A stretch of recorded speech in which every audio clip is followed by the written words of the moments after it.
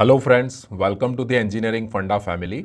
In this video lecture series on IoT, we will explore a fascinating topic that is the end-to-end IoT architecture.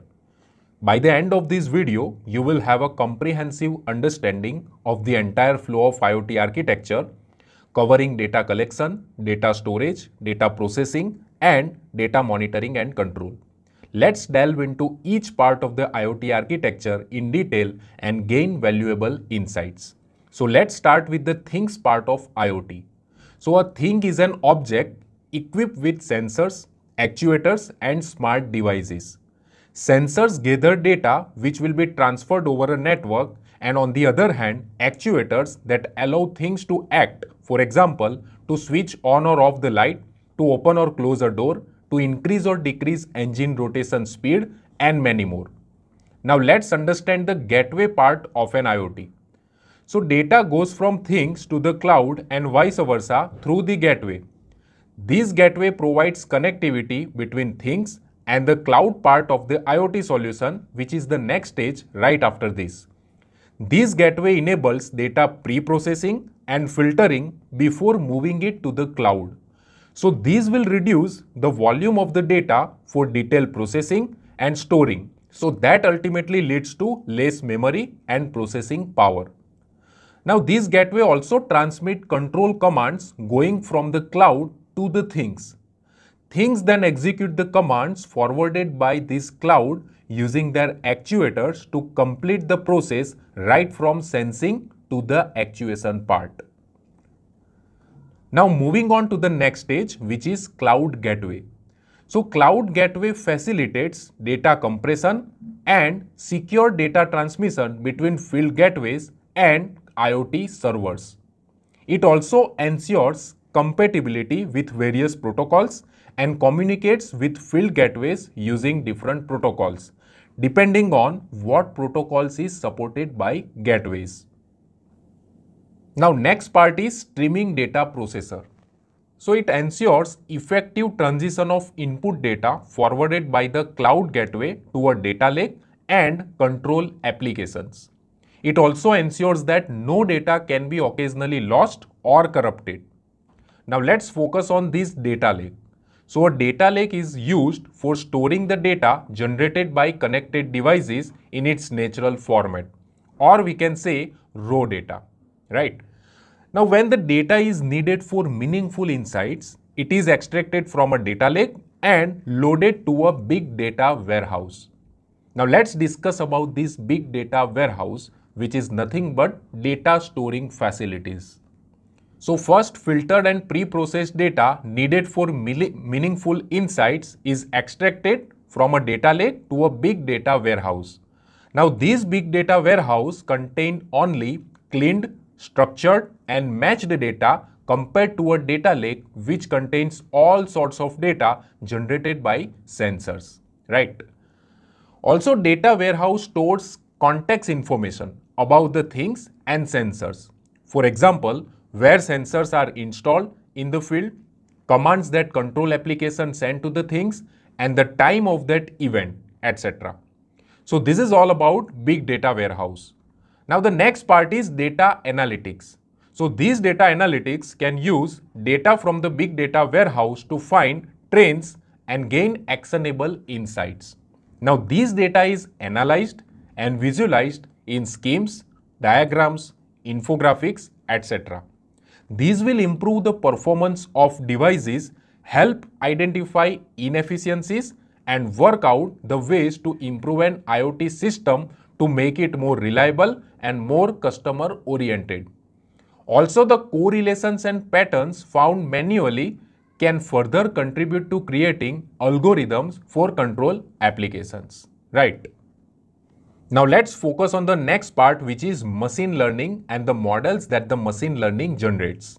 Now machine learning provides the opportunity to develop highly accurate and efficient models for control applications based on the data patterns that it has received from the big data. Now these models can be continuously improved and updated using historical data stored in a big data warehouse. Now similar to our mobile OS update that we received at certain time period, Updates to the model also occur on a regular basis, such as weekly or monthly. Now, data analysts play a crucial role in testing and evaluating the applicability and effectiveness of these new models generated by ML. Once the analysts have approved a new model, it is then implemented and utilized by the control applications. Now, this iterative process ensures that the models remain up to date and optimized for specific control tasks that they are designed to perform.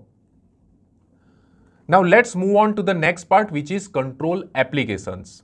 So these control applications send automatic commands and alerts to the actuators. For example, windows of a smart home can receive an automatic command to open or close depending on the forecast taken from the weather station. Take another example of sensors which monitor whether the soil is dry or not and based on that watering systems get an automatic commands to water the plants. Here the commands sent by control applications to actuators can be also additionally stored in a big data warehouse. So these may help investigate problematic cases. For example, a control app sends commands, but they are not performed by actuators due to some reason. Then connectivity, gateway and actuators need to be checked for the inefficiency, right? On the other side, storing commands from control apps may contribute to security. For example, some commands are too strange or come in too big amounts which may evidence security breaches which need investigation and corrective measures. Now here the control applications can be either rule-based or machine learning based. So what do you mean by that? So first, rule-based control applications work according to the rules stated by the specialist. So it is fixed, right? On the other hand, in ML-based control applications, control apps are using models which are regularly updated once in a week or once in a month depending on specifics of the IoT system with the historical data stored in a big data warehouse. Now let's focus on the next part which is device administration. Now first let's discuss about user applications which are software component of an IoT system which enables the connection of user to an IoT system and gives the option to monitor and control smart things. For example, homes or cars controlled by a central system. Now with a mobile or web app, user can monitor the state of their things, send commands to control applications, set options for automatic behavior, for example, automatic notification and actions when certain data comes from sensors, right? Now to ensure sufficient functioning of IoT devices, it's not enough to install them and let the things go their way, right? So that's where the device management comes into picture. Now let's discuss device management parameter one by one. Now there are some procedures required to manage the performance of connected devices. For example, facilitate the interaction between devices, ensure secure data transmission and many more.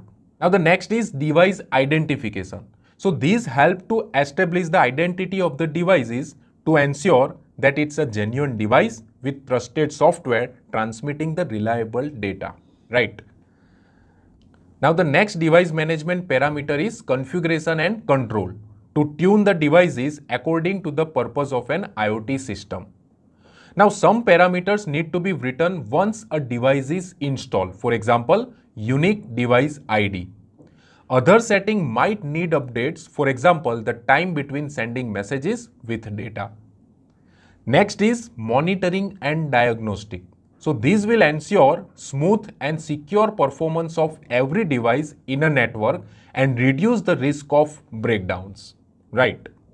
Now the next parameter is software updates and maintenance. So these will add functionality, fix bugs, address security vulnerabilities, etc. So hope you are clear about this device administration part of IoT architecture. Now let's focus on the next part which is user administration. In that, let's first focus on the user management. Now, alongside with the device management which we have just discussed, it is very important to provide control over the user having access to the entire IoT system. So what's there in user management? So this user management involves identifying users, their roles, access levels and ownership in a system. It includes such options as adding or removing users, managing user settings, controlling access of various users to certain information, as well as the permission to perform certain operations within a system, controlling and recording user activity, and many more. Right. Now let's delve into the last part of IoT architecture, which is security monitoring. Now as security is one of the top concerns in the Internet of Things. Now as connected things produces huge volumes of data, right, which need to be securely transmitted and protected from cyber criminals. Another side is that the things connected to the internet can be entry point for villains.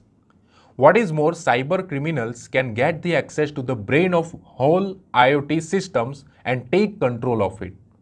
Now to prevent such problems, it makes sense to log and analyze the commands sent by the control applications to the things. Monitor the actions of users and store all this data in the cloud.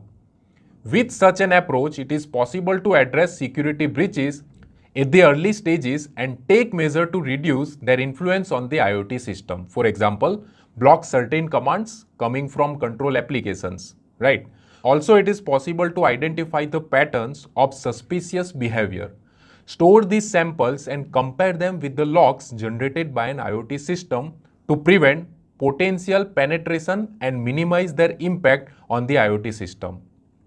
I hope you found this video useful. If you have any questions or need further clarification, please don't hesitate to ask. Thank you so much for watching this video.